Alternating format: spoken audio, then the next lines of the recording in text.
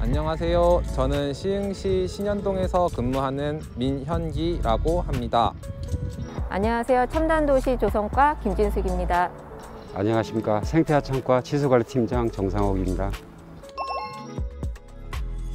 시흥시 적극행정 우수 공무원이 돼서 너무나 기쁘고 많은 분들께 조금이나마 도움이 될 수 있어서 더 값진 상인 것 같습니다.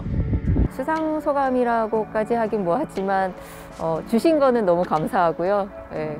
근데 또 쑥스러운 면도 있고 또 저 혼자 한 게 아니라 같이 해주신 분들이 있어서 그냥 제가 대표로 받았다 생각하고 있습니다. 네. 팀 전 직원들과 함께 노력하여 이뤄낸 성과입니다. 그 어떤 상보다도 의미 있고 가치가 있는 상이라 생각됩니다. 다 같이 고민하고 노력해 주신 팀원 모두에게 다시 한번 감사드리겠습니다. 시민들이 무엇이 불편한지 먼저 듣고 그 불편함을 해소하기 위해서 내가 조금 뭔가를 다르게 할 수 있을까 이렇게 생각해 보는 마음이라고 생각합니다. 공설묘지에는 시흥시 거주 3개월 이상을 하야만 사용을 할 수 있는데 3개월이 미처 되지 못한 아이들은 공설묘지에 들어올 수 없다는 규정이어서 그 부분에 있어서 적극행정위원회를 통해서 3개월 미만의 신생아도 정한 공설묘지에 들어올 수 있게끔 그런 근거를 마련하게 되었습니다. 저희가 이제 첨단도시 조성과다 보니까 새로운 기술을 가지고 도시에 어떻게 접목해야 될지에 대한 고민은 이제 계속 하고 있었는데요. 요즘에 지금 이제 스마트 가로등 같은 것들이 스마트 도시 쪽으로 많이 접목이 돼서 이용이 되고 있거든요. 그래서 이거를 저희가 조금 어, 생각을 바꿔서 다른 형태로 어, 갯골생태공원에다 접목을 시키면서 스마트 공원 조성하는 것을 사업을 구상하게 되었습니다. 소사 원시선 지하철로 인해 다량의 지하수가 유출되고 있고 시인 안산선, 월판선 등 신규 지하철 공사가 진행 중으로 유출 지하수로 인해 싱크홀 등 안전성이 우려되어 조사 및 관리 매뉴얼이 필요하다고 판단되었습니다.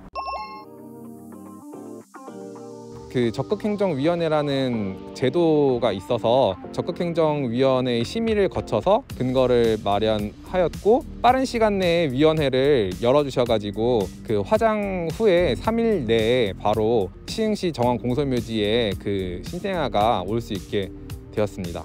지금 여기에 접목된 게 크게 세 가지 기술이거든요. 그래서 스마트 가로등, 그 다음에 태양광 벤치, 그리고 화장실의 실내 공기를 어, 개선해주는, 안전하게 해주는 이 세 가지 기술이 들어가 있습니다. 지하수의 일정한 온도를 이용한 신천역 냉난방으로 화석 연료 사용이 절감되고 바로 이곳인 신천근린공원 연못에 깨끗한 지하수를 사계절 공급 가능하게 됐습니다. 또한 도로 청소 용수로 재사용하여 미세먼지 저감 및 도로 열섬 효과가 있겠으며 최종 하천 방류를 통해 신천천 유지 용수로 쓰이게 됩니다. 모두 장례를 마치시고 나서 나중에 한 며칠 후에 전화가 오셔가지고 그래도 여기 정한 공설묘지를 사용할 수 있게 도와줘서 고맙다고 그렇게 전화가 오더라고요. 그때 가장 많이 마음이 뿌듯했던 것 같습니다. 하고자 했던 모든 기술을 구현할 수는 없었지만 그래도 이제 시민분들이 또 현장에 직접 와가지고 체험을 하시면서 이 만족도를 뭐 개인 블로그라든지 카페에다 계속 공유를 해주고 계세요. 그래서 이제 이런 거에서는 되게 많이 보람을 느끼고 있습니다. 두 건의 공모사업 선정과 더불어 올해 환경부 주관 전국 지자체를 대상으로 한 지하수 업무 평가 결과 우리시가 우수 지자체로 선정되었습니다. 이는 인력이 부족한 현실을 극복하고 이루어낸 성과로서 공직생활 기간 동안 가장 보람을 느꼈습니다.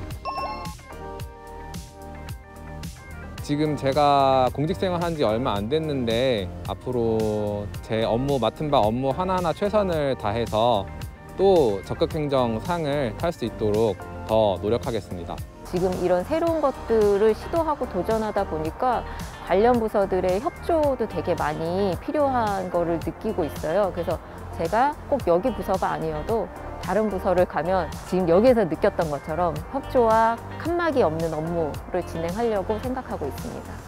지하 유출수 저감, 재이용, 지하수 함양에 더욱더 적극적인 자세로 임해 소중한 지하수를 보존 관리하여 지하수 고갈로 인한 싱크홀 등 재난이 발생하지 않도록 업무에 최선을 다할 생각입니다. 언제나 항상 힘든 일이거나 해결할 수 없는 일이 생기면은 주변 동료들이나 선배님들에게 도움을 구하시면은 적극 행정을 하시는데 좀 더 도움이 될 것 같습니다. 저희 부서가 업무 협조 요청했을 때 좀 조금은 더 적극적으로 도와주시고요. 저희도 다른 부서에 어떤 새로운 일을 하시거나 업무 협조 오시면 저희도 최대한 적극적으로 같이 진행하는 걸로 하겠습니다. 업무 수행 과정과 자기 개발을 통해 얻은 지식을 토대로 적극 행정을 하신다면 시민들과 더불어 더 살기 좋은 시흥이 되리라 생각됩니다.